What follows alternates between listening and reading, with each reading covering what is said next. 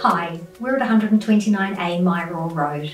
They say that great things come in small packages, and this property is no exception. It's one bedroom, double glazed, two allocated car parks, and just across the road from the Sugar Bowl Cafe.